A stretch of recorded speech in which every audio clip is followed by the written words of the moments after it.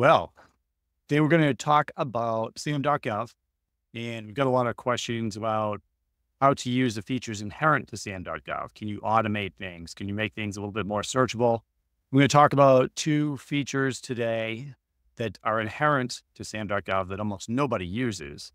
And these are things that uh, people will pay hundreds, if not thousands of dollars for third party tools to take advantage of. And I just wanted to present those to you guys so you can save a lot of time and especially not lose any opportunities you're working on. There's a way to get notifications, uh, make things a little bit faster. So let's get into it here. If I can share my screen. So everyone should be seeing sam.gov screen that I'm using right now. And in order for you to take advantage of these features, you're going to have to be logged in. So you don't have to be logged into sam.gov to search. Okay. And I've been through plenty of tutorials. You can find them on the YouTube channel. They're free. Just go to the tutorials block. But what I'm going to do now is show you something you have to be logged in for. So if you're following along, you are going to have to be logged in for this. I'm already logged in. You're going to do that right up here, and it will take you through the government system that verifies who you are. But once you're logged in and you go to search, if you happen to be in an industry that just matches up perfectly with a product service code or NAICS code, then your searches could be relatively simple. But most people, whether you're in our certification course or you're just working out there, your company for another company, a lot of things don't fit perfectly into those buckets, right? A good example of that would be augmented reality or anything to do with a drone, but it doesn't have to be technology. I bring those up because like newer technologies typically don't have a service code or, a NAICS code dedicated to them. So there's no drone NAICS code, for instance, right? Now that makes it a lot harder to search for things. So when I'm searching, I'm going to go to contract opportunities here. When I'm searching for something that is not perfectly matched up with a code, I'm probably going to have to do a few things. Now, I may be making a combination of NAICS and product service codes with keywords. Okay. And that happens a lot. So, for instance, if I was going to go up here and say that I wanted a, and let's see if anything pops up, but if I wanted an analyst certificate, and that's what I was looking for. Now, there's nothing that's just going to pop up there under NAICS code or product service code. But if I put that those two terms together and I put exact phrase, it's only going to show opportunities that have those two words right together. And that's very important because if it just said any words, then any opportunity, anything within sam.gov that had either of those words in would pop up. And now I'm getting lost in the things that I don't care about, right? And honestly, a waste of my time and yours. So now that we have the exact phrase in there. I'm also going to put in a couple of things. I'm never a big fan of looking at solicitations unless I've already worked that solicitation for months ahead of time. If you have a set aside, you can plug it in there. I'm going to look for a sources sought. Right. And also, I want to look at the dates because I don't want to, anything that's expired. Right. So let's just look at anything in the next three months. Oh, and of course, I've got to type my my little phrase in there again. All right. Okay. So we got one thing, right?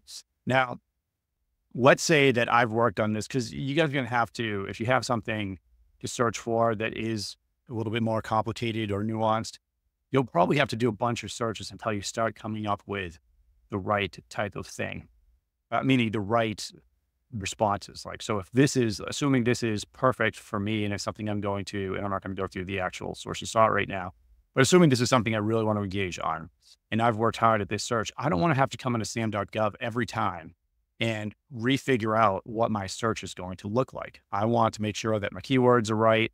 I want to know what works. And if I take a break from sam.gov, if I've been off for a week or more, I want to be able to come back in here and really hit the ground running. So one thing that I can do is you can see up here, it says saved searches. So you can save your search. So that's the first thing. It's actually, this is very valuable. So if I go in here and I hit save, I could call this, I'm going to call this cert two because I ran it earlier today. I'm going to hit save. So now I have this as a saved search.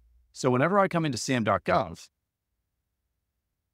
I can go right to my saved searches and I can grab any of these. And now I have um, different searches that I've had in the past, augmented reality, brought it up, nothing. Oh, here we go.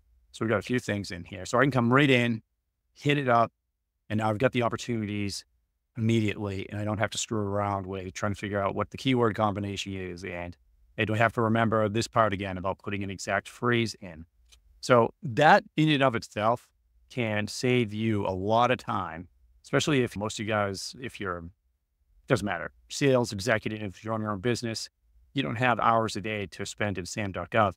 I like to just make it one of those first things I do in my morning checklist. So I'm going to hit it real quick, hit the button, bam, I can see if there's three things in here. Okay, now I might download them or I might just review them real quick to see if it's something I need to engage on. Now, what if there is something that I really want to engage on, right? So let's see, this right here is due December 12th, right? Now, let's say that this was something, this is the second thing I'm going to show you when you have, it doesn't matter if it's a source aside or a request for proposal, request for quote, often the government will put out multiple versions of these, right? And you want to make sure that if you're working, especially you have a deliverable coming up, you want to make sure you have the most current available information.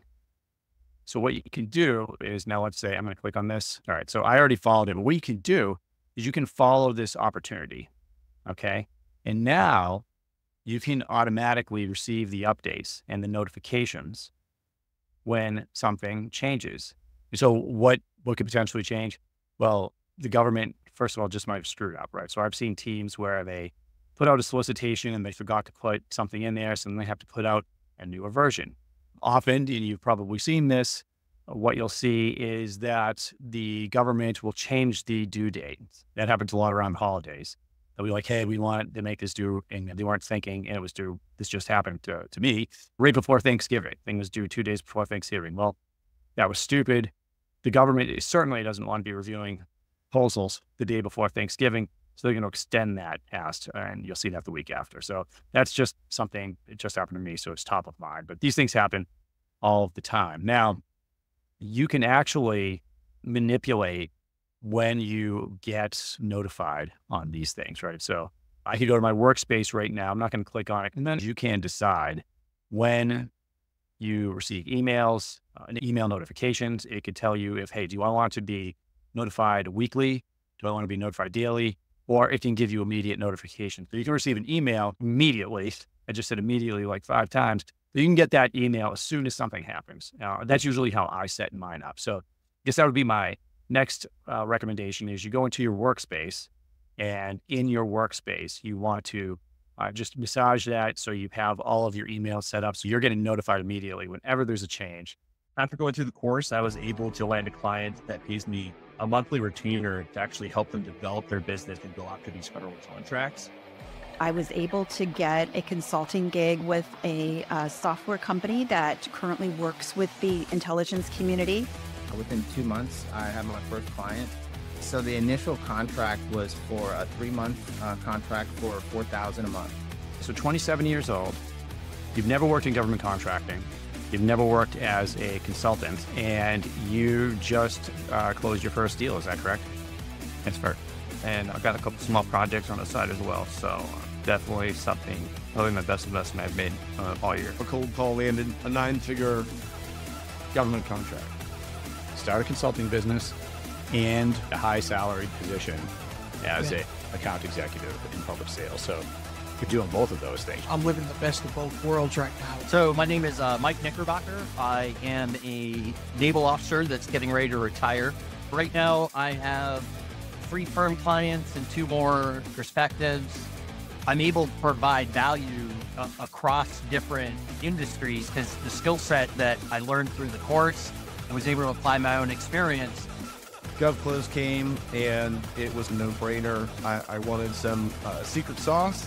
This has allowed me to live in Germany. It's a little hazy today, but we can do that. You see?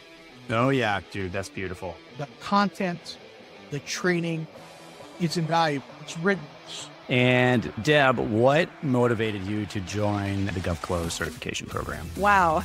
Well, I think that wanting to work with a leader in the field, someone who understands government contracting on a deep basis and has the reputation, the experience working with you and your company with a natural. The students that graduate our program, they go on to start their own consulting firms, winning high dollar consulting clients they go on to land high paying salaried positions as account executives with companies that sell to the government. I'm so proud of the people that have gone through our program. And if you are considering either a job or a business, and by the way, some of our students are doing both, as I did. They're running a consulting business and they'll have an account executive job. It's transforming their lives, it's bringing true wealth to them and their families. Back to the video.